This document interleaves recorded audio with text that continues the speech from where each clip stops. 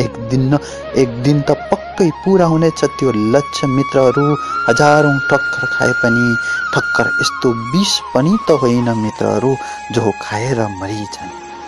जसले आफ्नो लक्ष्य पुरा गर्ने चाहना राख्दछ उसले समुद्रमा पनि ढुङ्गाको पुल बनाउन सक्छ।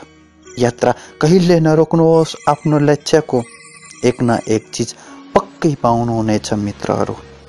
कि त तपाईँले लक्ष्य पुरा गर्नुहुनेछ?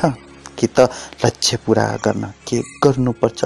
त्यो थाहा पाउनुहुनेछ। जो मुस्कुराउने गर्दछ त्यसलाई दुखैले पालेको हुन्छ। त्यही उज्यालो हुने गर्छ मित्रहरू जहाँ दियो बलेको हुन्छ। त्यही त्यही उज्यालो हुने गर्दछ मित्रहरू जहाँ दियो बलेको हुन्छ। सङ्घर्षमा सबै मानिसहरू एक्लै हुने गर्दछन् मित्रहरू।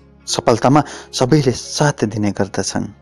जस जसको सुरुवातीमा हाँस्ने गर्दछ दुनियाँ इतिहास साक्षी छ मित्रहरू इतिहास उनीहरूले रच्ने गर्दछन्।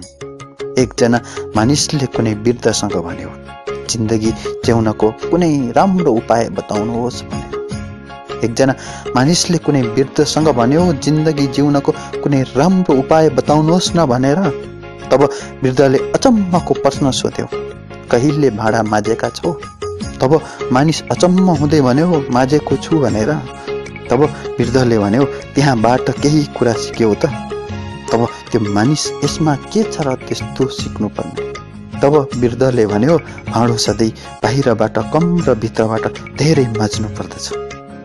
पक्कै पनि मित्रहरू तपाईँ जति बाहिरबाट खुसी र सुखी बन्न खोज्नुहुन्छ त्योभन्दा धेरै भित्रबाट बन्नुहोस् जिन्दगी जिउन कति सजिलो हुनेछ।